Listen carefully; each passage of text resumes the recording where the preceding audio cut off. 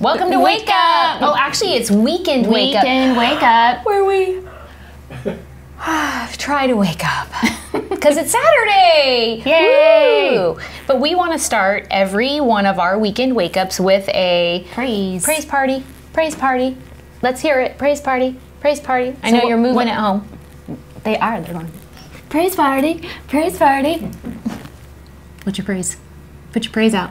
Okay, so uh, one of the praise parties that I wanted, well, one of the testimonies I wanted to share today Yes. Is we had someone in our congregation share that her job sent her home. She actually falls in the at-risk category for, um, you know, just uh, being susceptible to COVID. Okay. And so um, she shared with us, she'd been praying, and she shared with us that her job sent her home with pay, awesome. not to work from home, my but they sent her home with pay to rest and relax so Oh, that when this whole thing blows over, she's raring to go and ready to go at her job back in the office. How amazing is that? Who does? Who gets that? Who We gets that? do. She's got. A, she got a paid vacation in the midst of this global thing that we're all walking through. So that's amazing, and it's only God.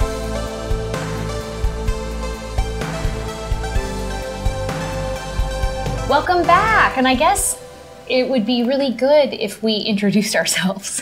Who are Maybe. you? Who are you? I'm Pastor Kelly, And I'm Pastor Holly. And we're so glad you're here with us today. We have a scripture for you today. We're going to go into John 14, 27, and it says, Peace I leave with you, my peace I give to you. I do not give to you as the world gives. Do not let your hearts be troubled, and do not be afraid. See, there's a peace that the world tries to give us, and there's answers, and, and there is a lot of stuff out there that says you can. This is how you can get um, get peace, but it's way different than the peace that Jesus gives us. Amen. The the peace that Jesus gives us is is the peace that can change a storm in a minute. Because he is the Prince of Peace. So when Jesus comes on the scene in, in any situation, he he is the Prince. And, and once he comes into that situation, peace comes immediately to that situation. What did he say? He said, Peace be still. And the winds and the waves, they had to obey him because he was ruler over them. Um, the Bible says that he is our ever present help in, in the time of need. So anything that we have going on in our lives, he is that help. He is that Prince of Peace for us. I remember um, when I had Logan, and um, he was born this big chunky baby, and um, the nurse um, was, you know, cleaning him off and stuff. And she said, um, "Have you guys ever had a sick baby?" And uh, Jason's like, "No." And she goes, "Well, Yeah, this that's one thing no mom wants to hear. this is going to be a very sickly baby." is what that's she a, said. That's a leading question. Have you ever had a sick baby?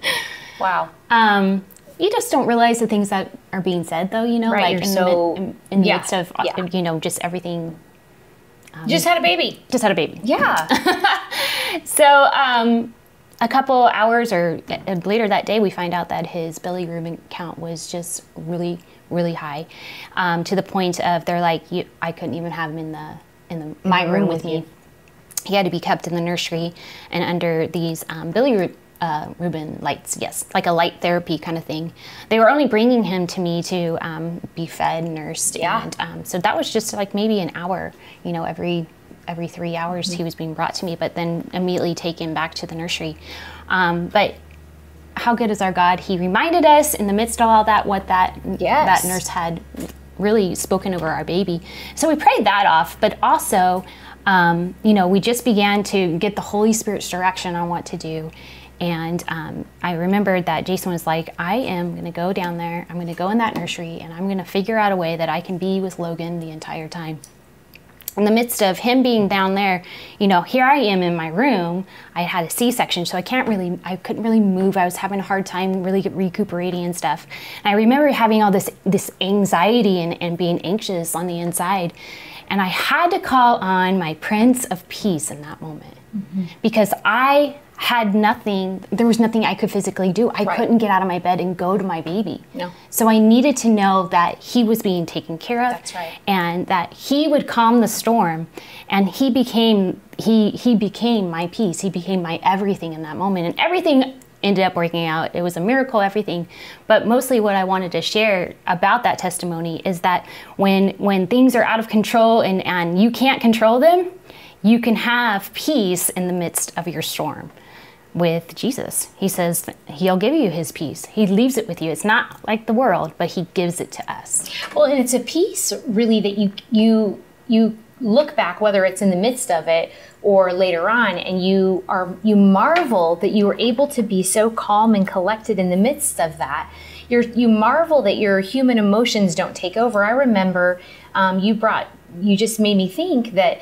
we had our house on the market to sell for like a long time yes. and i don't know about you guys but like compared to other houses we've sold this eight month like thing was a long time for us. it was a long time. Eight yeah. months was a long time to have it on the market yeah. and be showing it. And I'll never forget, we were up in Sedona hiking with the kids on spring break, mm-hmm. and we got a phone call from our realtor that said, We have a buyer. And Scot and I looked at the contract, we prayed about it, we felt peace on it, mm-hmm. we talked to the kids because they wanted a fast sell. They wanted a fast, like they didn't want to close in 30 days, they wanted a quicker okay. close. Okay. So what they were proposing, we were like, okay, we can do this. We've got this, right? And the following week, we were going to farm all the kids out to the grandparents and, and family members, and we were going to take our 25th wedding anniversary trip to Mexico. So we had a lot on our plate, but the kids were like, we can do this, let's go for it. Mm-hmm. So um, we cut our, sh- our spring break trip short and we went home and we packed up our house in two days. And come Monday, we loaded the plane and we farmed out the kids, we boarded the plane, and we headed to Mexico. We know more land in Mexico. Mm-hmm. And our realtor, who's a family member, called my husband while we were in baggage claim. Wow. She did not want to call me because she knew that this would probably be a damper for me. And so she called Scot and she, um, we're in the cab, we're driving to the hotel, okay? And he says, Well, we have some unfortunate news concerning the house. And I just sat there and I'm like, Okay. And he's like, Well, he's like, It kind of fell through. And it didn't fall through just kind of, but it fell through in a very spectacular way, in that the people tried like three different lenders and nobody would lend. Mm-hmm. I just sat there. I remember just going completely quiet and I just sat there. My entire house is packed. Our utilities are turned off. We plan to move into the rental when we got back. Mm. Literally, when we land, um, utilities are supposed to be turned on in the rental. I don't have a stitch of anything in my kitchen that's not packed up and wow. you know taped up. Wow. We already had stuff in like um, what it storage containers. Yeah. And I just sat there and I said, okay, well, I don't know. but here's the thing: I wasn't going to unpack.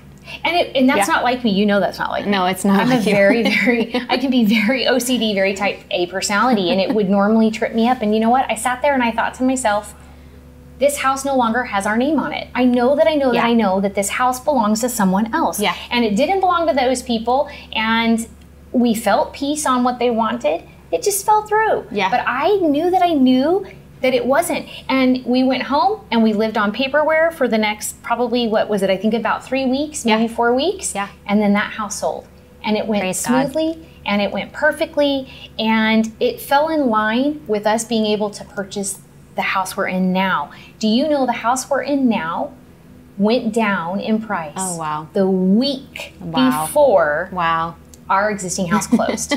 so who, how how God is that? So trust that. Trust that peace when it comes from God because He's going to set you up to um, step right into yes. the most amazing situation.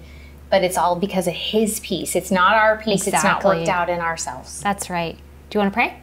I do want to pray. Okay. Father God, we just thank you and we praise you for this amazing day. We thank you that you have a peace that passes our ability to understand in the moment, yes. but we're so gracious for it. And so I pray that every over every viewer that's listening today, that peace that is from you that just gives them the knowing that they know that they know that they know that your hand is in it and that it's all going to be good and they stand up and they declare over the situation, peace be still. In the name of Jesus. Amen. Amen.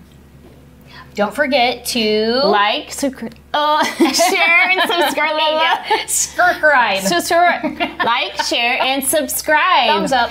And give us um, some praise reports, right? We right. Want right. to uh, share those on Saturday mornings. That's yes. kind of like our thing. It is. And let us know if you want us to call you by name.